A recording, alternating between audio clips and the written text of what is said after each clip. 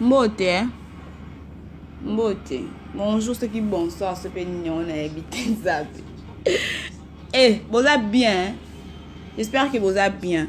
tala nayebi eh? to, to, to se respecte eh? ok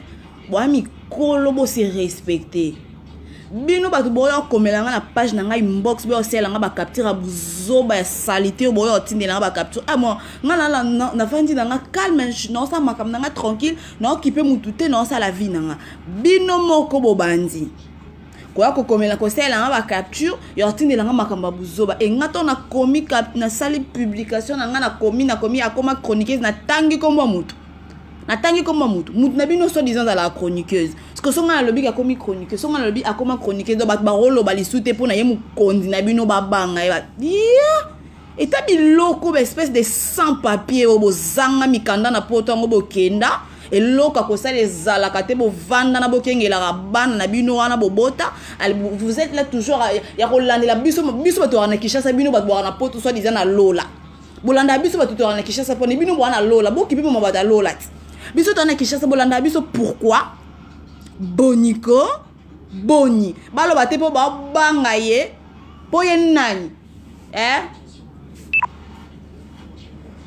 moto na bino na so alala na bibembe se normal yango alingi mambo ya bibembe mingi soki sazo batinda akende olala na bibembe tozwi mama bibembe mingi so yo oloba makambo ya dija rafat biso toloba te mpo tobanga ye Quand elle a fait une chanson pour Arafat, elle est ivoirienne. Elle est ivoirienne parce que Arafat c'est une star et star azalaka na nationalité te yango biso nyonso tu toyokaka miziki ya dj Arafat tokoloba yango na nko ok mbote eh. boniko fiantantatata fiantantatata fiantantatata moto aolala na cave place ye moko aolala akotelema te moto etuta balcon boni buzoba boye ko babanga bino baloba te ntango ya fingaka bamusicien boyokaka ti bofungola bambanga na bino fionton fionton fionton fionton motala na 38 amo na 83 soki 82 bosala calcule bobunda nango bino so 83 age nini nayebi te na makasi na calcule mental te bozoba maleki 35 a mokolo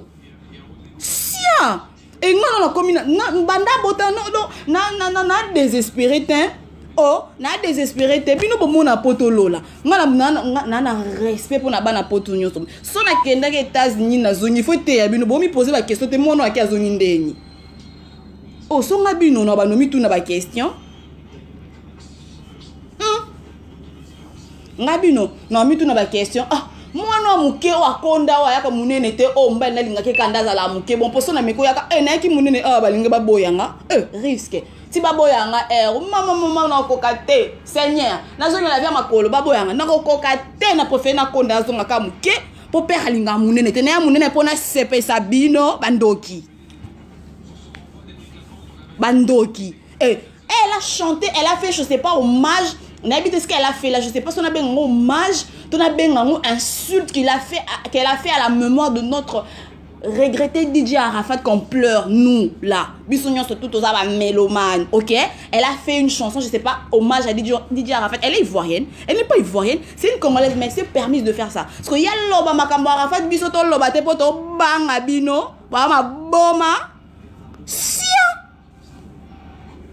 boya maboma eh, so babloke nzembo wana nga biso bato tobloke yango ntango asalaki yango eh, babloke yango te baya bloke yango babloke yango parce que eza nzembo mpo mona kaki boya mayele te boya bakizengi ka ndemo désolé ayo eh, tokata mpo na yo toza pele eh, nafia bapele babengaka ngama mingi bocomprendre eh, nafia bapele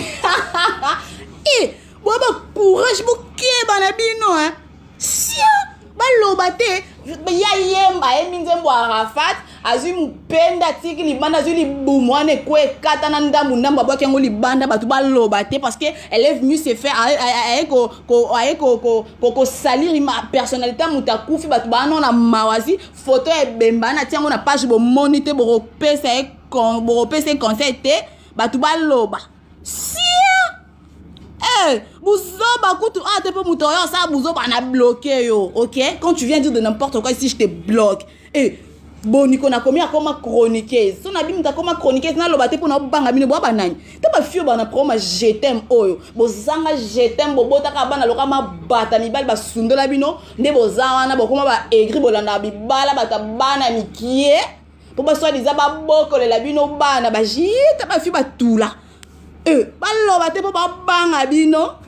bazobanga bino ye ntango bafingaka bato bato kasi bato wana bayoka mpasi te paso bino boyoka eza pasa bato bafingaka alalaka na cave na place mpo banda kodistre bato bokei kobondela mami mikuna eh, azongisa lukele place ata na cuisine alalaka na place moto etutana na, na balcon na plafond ok je suis fière de ma vie si je souffert so na souffra na passé lelo na osouffrir te na, na banda botama e eh, nde na boye nauti etats-unis nazongi eh, eteya bino te bomiteya ti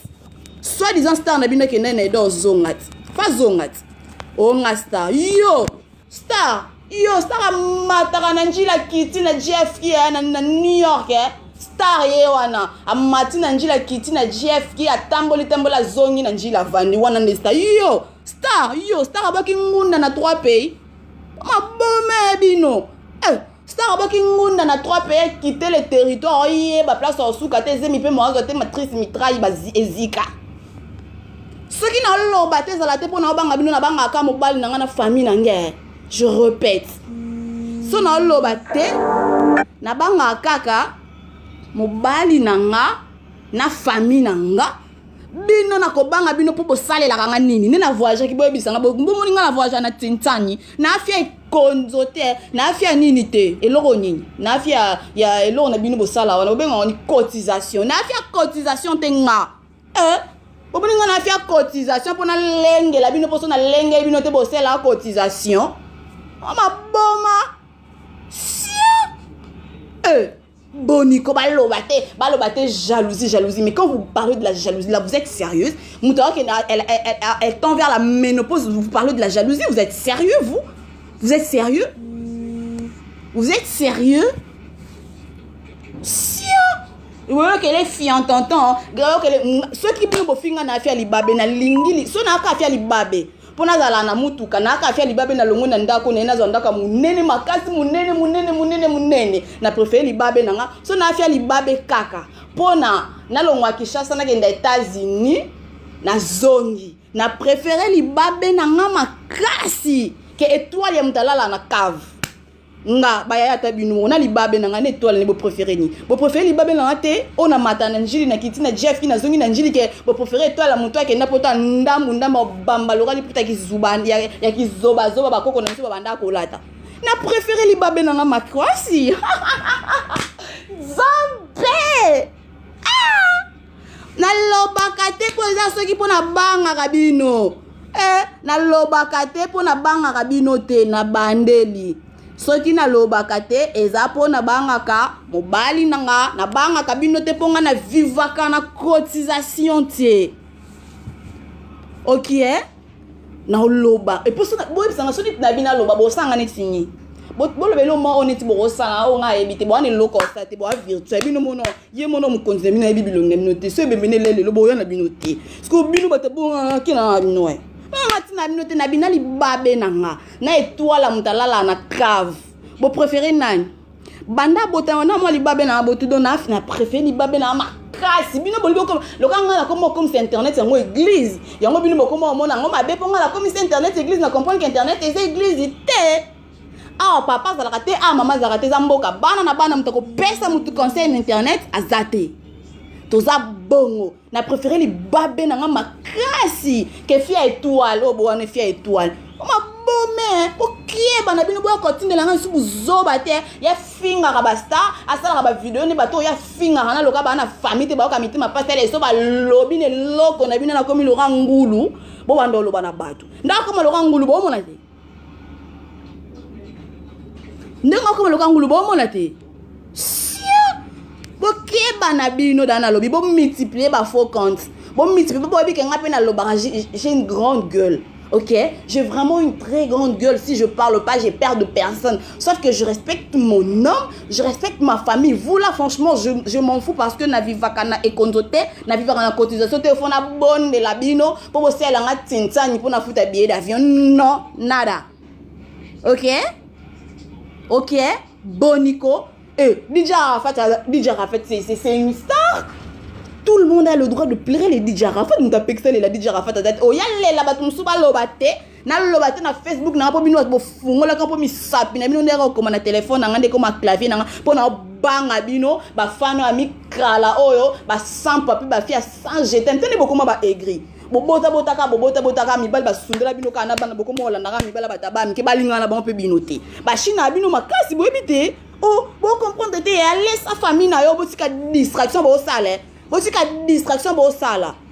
eh, bino kasi tana na posa aloba mingi te mpo na dekone boyebi deja ke nazala mal bouche na biboye soki ngai natinda bino bozala na problème ya jetem te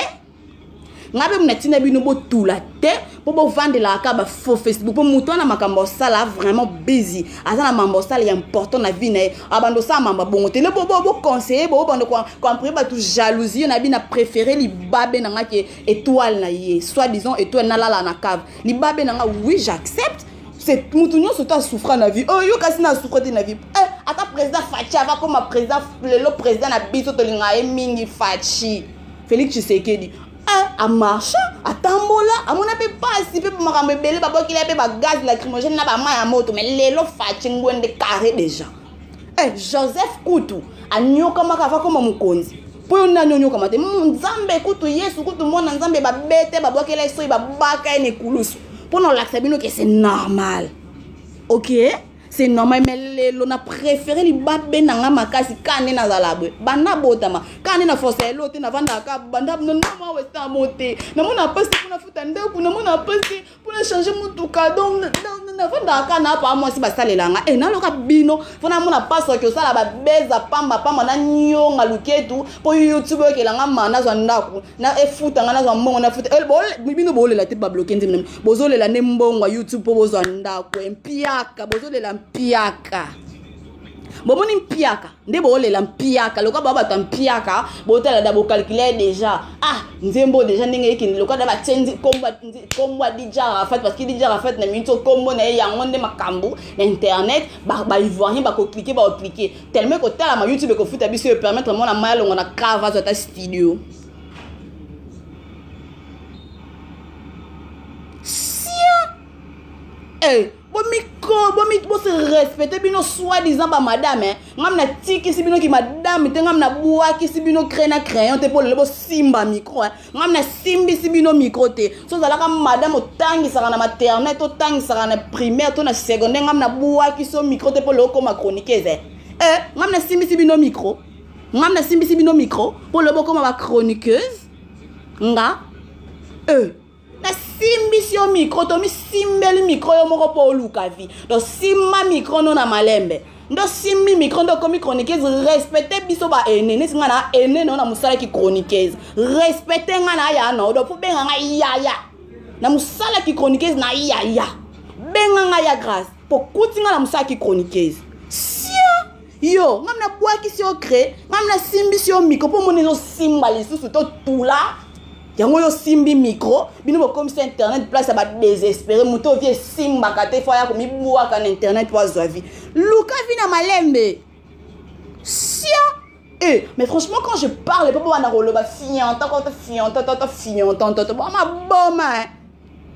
bwa maboma nayebisi bino ngai nalengelaka bato te mpo bosalelanga ntinsani te bobimisa bapreuve oyo bosi botindelanga mbongo ya wesa na cotisation bosalelanga na vivaka na cotisation te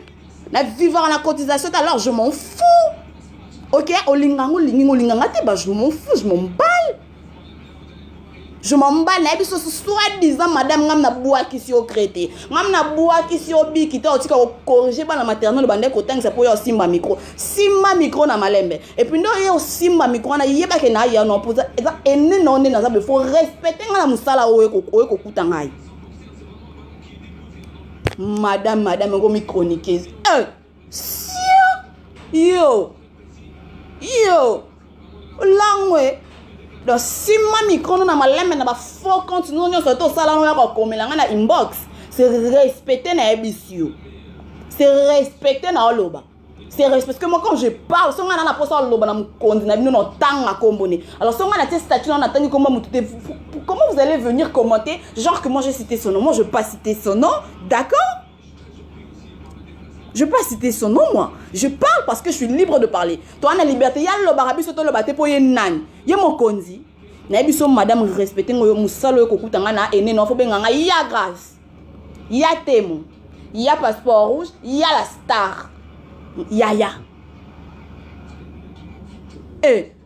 boniko nde bosalaka eh, akotika te akofula banda banda ofulama banda azala na succès ye mokonzi numero uno epesa ye ni succès cave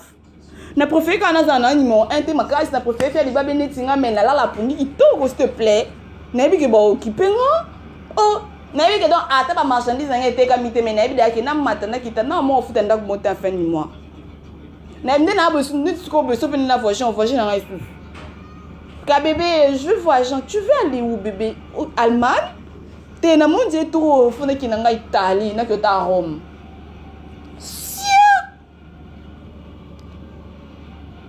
eboya okoma buzoba awa te eh, nayebisi bino naye kuna posa osala live soki nini audio oyo te mpo na na makambo na ngai naosala na krati no makambo na ngai mpo na explike bino ke so nalobaka te eza mpo naobanga bino te eh. nabangaka mobali na ngai mpo soki amoni video akosilika mpo apekisaka nga ok na famille na ngai bino te bino te je répète encore bino te nakende etasi bomona ngai akende ovanda bandaka bato motu ni yango bergeke ngai na ndako nini etasi natombola mosapi ayebisa nga e eh, navanda na bahotel bande bande ntina suka séjour na ngai nazongi congo parce que je me respecte parce que je me respecte je me respecte eh yoka soni ya yo madame oyo yoka soni na ye biso garde bande no na mosala kicronike eza okomi wana eh. mosala no bandi sika so olingi osala yango boya kolukanga na malembe na laki so ndenge etambolaka na laki na laki so nde babandaka bonjour madame mesdames et messieurs bienvenue sur votre chaîne youtube nanani nanani nanani nanani Aujourd'hui, nanani, nanani, nous sommes arrivés à la fin de cette émission. J'étais très content de vous savoir si nombreux.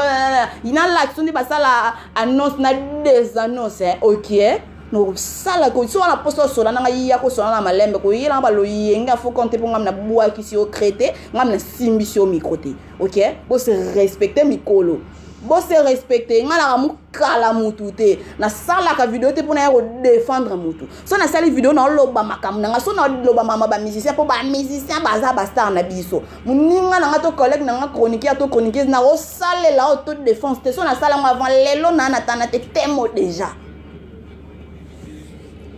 e temo déjà po maboma na mitu na bino e bando oluka succès bozwa succès bapesi yo obeta vi na nga koma bambongo ozwa bawolo ozwa nyonso succès bapesi ozwa ma stabilité vie eza te mopepe oyengangaka kai na vagabond na préféré naza boye na tourne na tourne te na vivaka na mbongo ya youtube te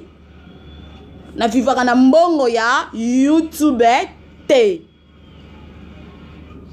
Eh, loko koti na monde ya buzoba tokobaluka na potopoto eh. yo madame tokobaluka na potopoto tolie potopoto ensemble eh. so na posa buzoba te ere yango rentre scolaire ezongaki nde koluka ekolo ozongela cree eh. soki ovandi kaka na mikro na mikro okomona mpe mamoto osalo na mikro tokopotana tokobaluka tolie bazelo na yo madame kieba na yo eh. zoba oyo na ngai naloba nalobi yango wana ekoki so na na mposa oloba nakoloba nakobanga mutu te ok eh, na, na, je répète encore na vivaka na cotisation te na vivaka na bakongo baloba ni tinsan bebe oyo eloko nini nzambe na bosani na vivaka nango te na vie fille normale je, je suis une pauvre fille naoluka vie na ngai normal calme naluka vie na ngai nsima baclash te nafinga bapapa bato bamama bato mpo nasala bavue na youtube youtube efuta ngai mpo nafuta ndako to nalesa baparent na ngai to natangisa baleki na ngai